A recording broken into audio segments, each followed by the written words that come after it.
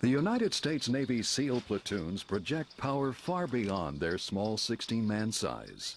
The success of their mission doesn't just rely on weapons or technology, but on the specialized training of the individual SEAL operator.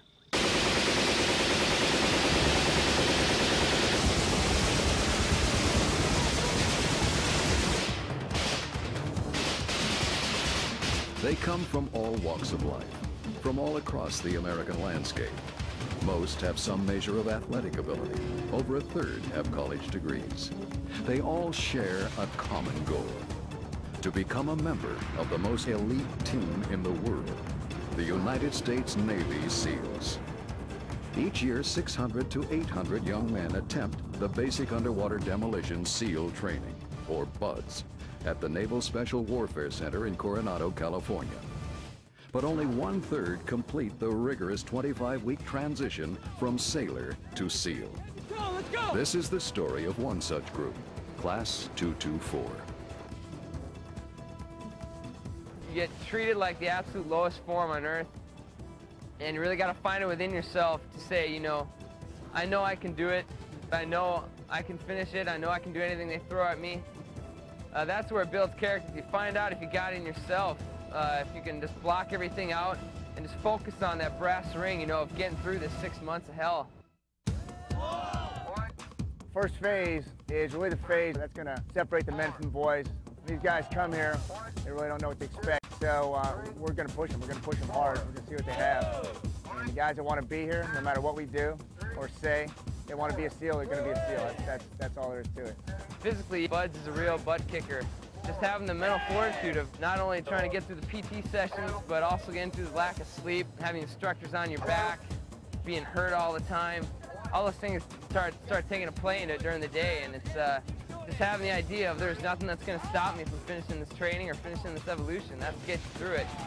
I believe that uh, Bud builds teamwork and character by uh, weeding out the weak, bringing the strong together to survive the training. I don't think any one man can make it alone through Buds.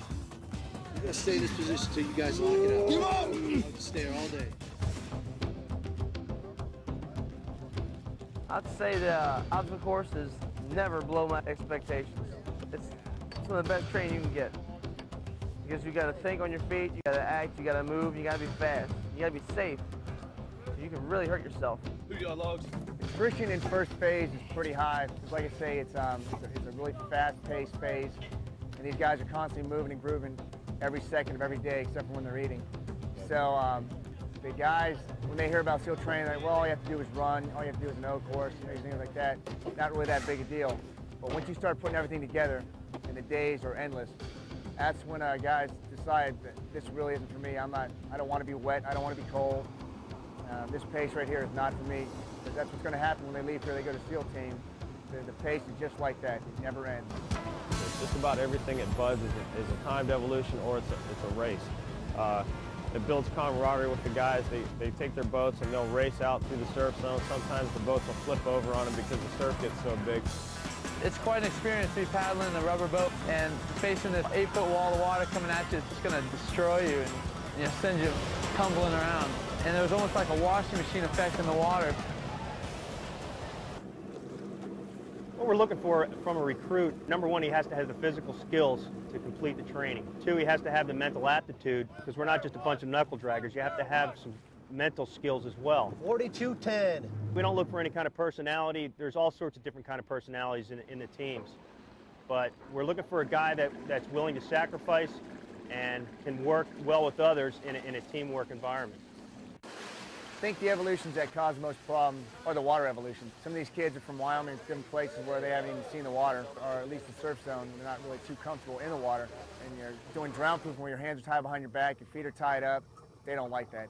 Drown proofing, I think it's more of a mental thing than a physical evolution. It's all about trying to stay calm and being comfortable in the water. Half of our class uh, failed it the first time they went through, and I think it's just because they have a mental block of, of the idea of not having control you just gotta, you know, have confidence in yourself and, and, saying, you know, I've done this before, I can float on the water. 3,000 guys have done it before I have, you know, why can't I do it? It's a, it's a mental thing.